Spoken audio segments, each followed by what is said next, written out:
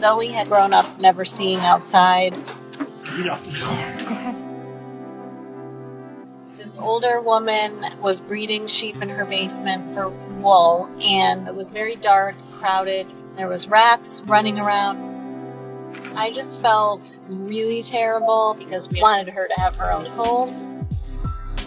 Oh, she's sweet. Good girl. Volunteers went to pick her up. My barn manager sat in the back with her.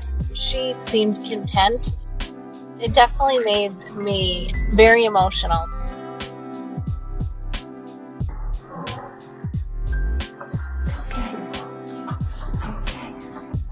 Zoe was pregnant. So we were on high alert with Zoe's history. When she got to our farm, she was very nervous to be outside. She would not come out of the stall by herself. If we weren't with her, she would just stand in the doorway of her little barn and baa as soon as she saw anybody. You want me to come sit with you? Okay. She would follow us anywhere we went. Is somebody following me? Somebody following me? Oh, hi, girl. It's okay. I can't. What am I going to do? What am I going to do? Mary had a little lamb. Mary had a little lamb. It took her about a week and a half to go outside on her own.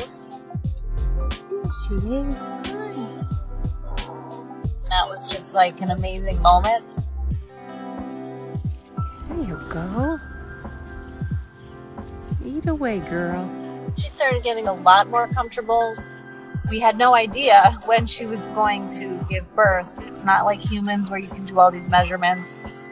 One day she was acting a little bit different, staying inside her barn. So we were kind of like, today is the day.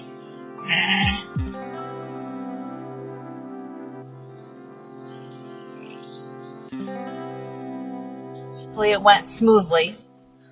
Man that carried Zoe up the stairs, his name is Sydney, and he's an amazing part of the Riley Farm family. So I knew right away I need to name this little boy after Sid. Such an awesome experience to see because we had fallen in love with Zoe and she was such a sweet and special girl. She's immediately such an awesome mother. Hi, Zoe. I'm Disney.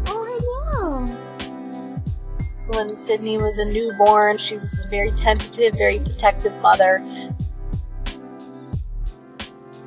So.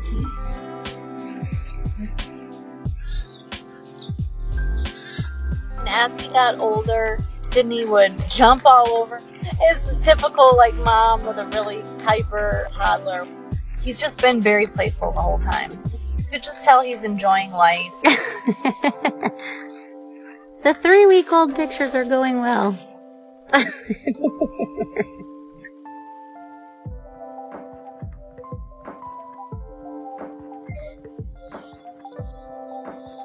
It's just been really awesome to watch them grow. It was a really neat process to watch an animal that I love become a mother and know that they get to spend the rest of their lives living together and not be separated.